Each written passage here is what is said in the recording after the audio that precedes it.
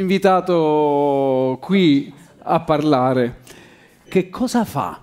un attore quando fa l'attore? Mentre ero lì che pensavo innovazione, mare di innovazione, e, e, e, cercavo di mettere insieme i puntini, mi sono reso conto che, che nessuno veramente lo sa che cosa fa un attore. Noi nella vita, quando ci esprimiamo attraverso le parole, e le parole arrivano alla fine, prima ci sono le, le, emozioni, le intuizioni, la rabbia, i sentimenti, che poi si fanno strada attraverso il nostro corpo e diventano parole. E noi nella vita siamo naturali quando ci esprimiamo. Invece gli attori fanno tutto questo percorso al contrario a noi arrivano i copioni scritti dai drammaturghi, dagli scrittori, ci arrivano solo le parole, è solo la punta dell'iceberg, c'è tutta una parte mancante che va ricostruita. E quindi l'attore comincia un viaggio incredibile alla scoperta e a, alla ricostruzione di tutto questo mondo, un viaggio lungo che espone alla sofferenza, molte volte al dolore, alla gioia, all'impegno, al lavoro. Ed è un viaggio che viene fatto con l'unico strumento che noi abbiamo. Il musicista si concentra in un oggetto esterno che poi, eh, quello è un altro viaggio, lo contamina. Per noi il nostro strumento è questo, è quello del nostro corpo, volenti o nolenti con le, con le cose belle e con le cose brutte del proprio corpo. Uno dei più grandi innovatori nell'arte della recitazione è stato un signore russo, si chiamava Stanislavski, che all'inizio del Novecento si pone un, un problema importantissimo cioè l'arte del recitare non è più adeguata ai tempi, si è sclerotizzata. E viene ancora insegnato che l'attore sta in una posa, che l'attore declama, che recitare è cantare e che il sentimento arriva misteriosamente attraverso una ripetizione ossessiva. E, e invece lui pensa che non è così, si chiude in un laboratorio con degli attori e comincia a lavorare e in effetti... Eh, scoprendo tante cose che io non vi spiegherò e sono molto tecniche, ma alla fine lui elabora un sistema per cui dà l'avvio a una rivoluzione copernicana, si può paragonare a una rivoluzione copernicana nel nostro ambito. Pensate che gli allievi di questo signore attraversano l'oceano, arrivano in America e cominciano a fare dei laboratori e questi sono, eh, chi studia in quei laboratori sono i futuri creatori dell'Actor Studio o di centri di ricerca in America che eh, avranno come allievi i più grandi attori di, de, che negli anni 60 rivoluzionano quest'arte, cioè James Dean, Marlon Brando e poi eh, vari Dustin Hoffman, De Niro. Eh, quindi da questo signore russo eh, nasce tutto.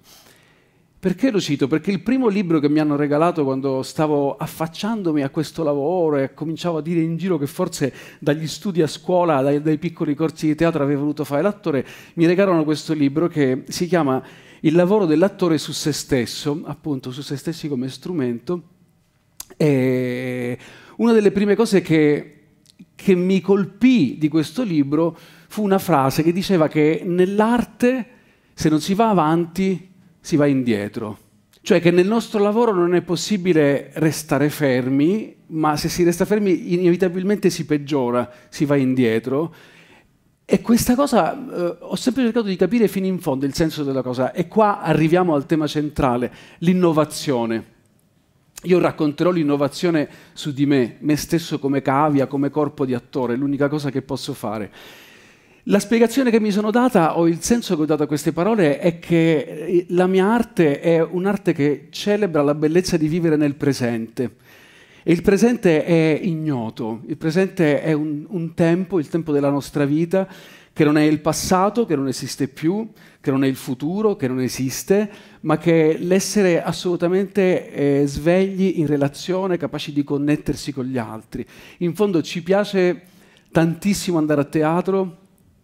perché il teatro è il momento in cui tutti noi mettiamo da parte i cellulari, eh, mettiamo da parte i nostri pensieri, le nostre stanchezze, eccetera, e tutti insieme guardiamo delle persone su un palcoscenico che danno vita a delle interazioni in quel momento. Cioè la, il teatro è davvero la, la, la più grande celebrazione, quasi, quasi spirituale, di quello che vuol dire vivere nel presente. E quindi per me questa frase di questo signore è stata un faro, una grande guida. Lo è stata anche in un momento della mia vita molto molto difficile, perché eh, io, avevo, io ho studiato qui un po' in dei piccoli corsi, però poi ho deciso che volevo veramente studiare bene e sono andata a Roma in una scuola che si chiama Accademia Nazionale d'Arte Drammatica, forse è una delle, delle più alte scuole di formazione per quanto riguarda questo lavoro che ci sono in Italia.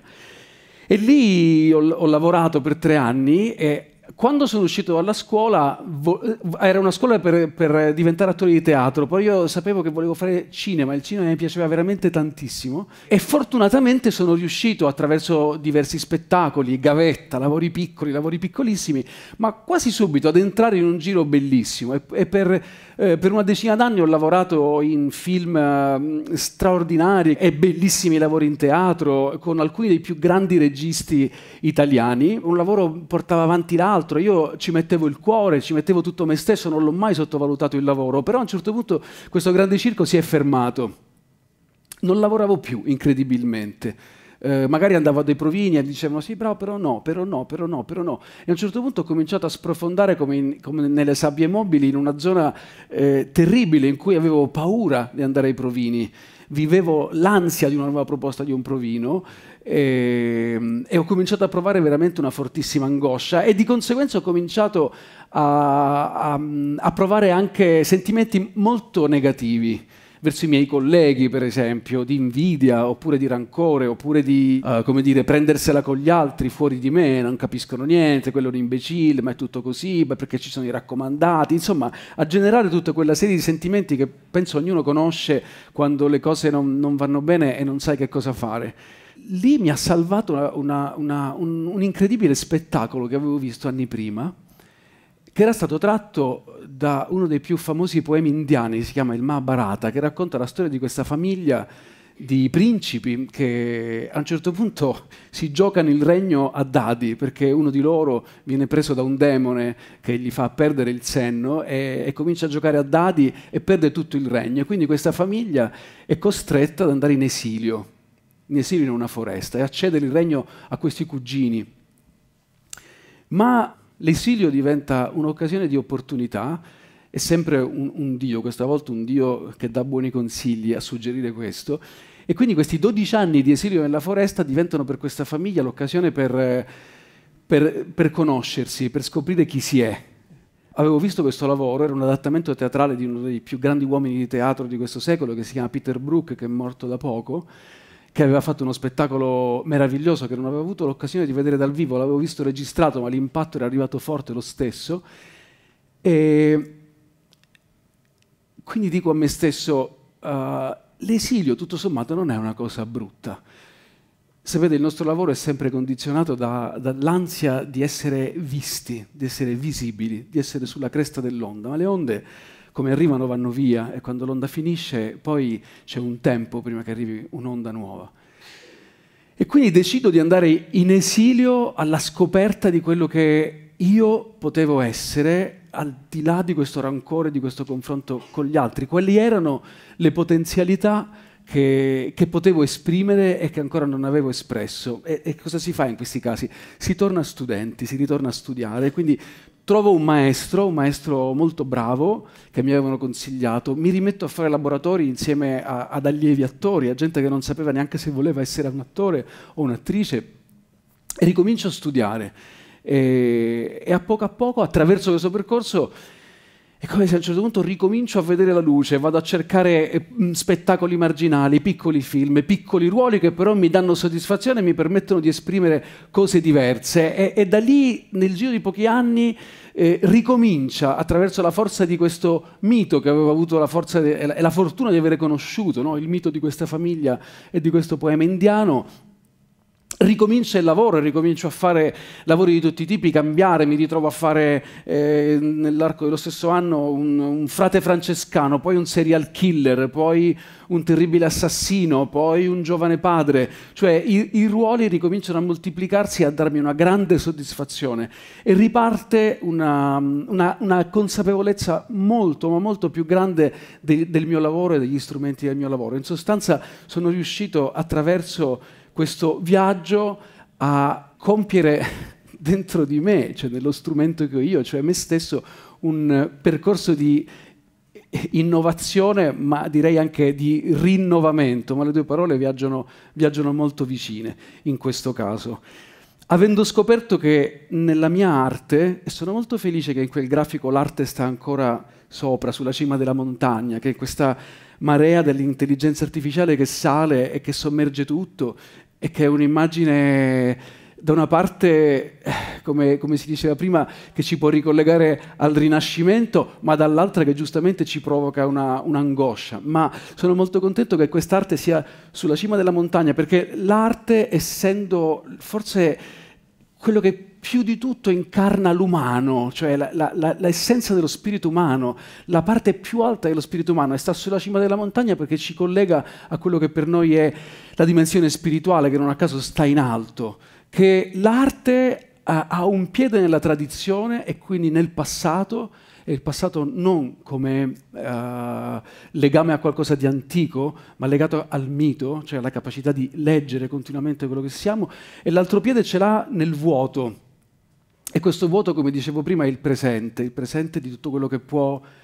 succedere, di tutto quello che è sconosciuto, di tutto quello che è discomfort, ma per questo una grande potenzialità. Questo è, è stato il mio viaggio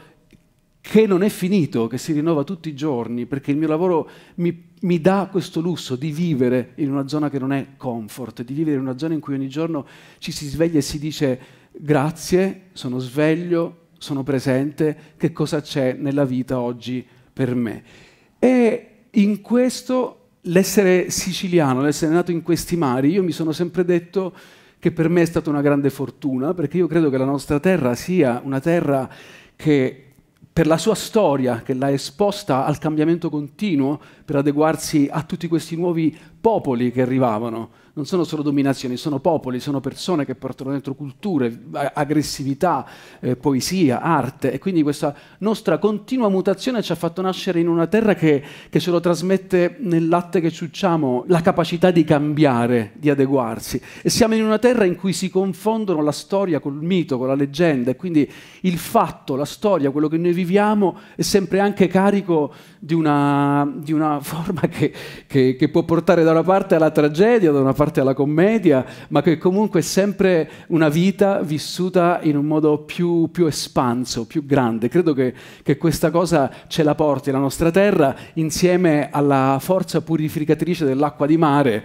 che ci bagna, ci pulisce, ci asciuga, ci secca, ci purifica e ci fa, e ci fa ogni volta ripartire. Questo è, questo è, quello che ho scoperto della mia storia e sono veramente felice di poterlo condividere con voi oggi, per cui grazie di questo invito.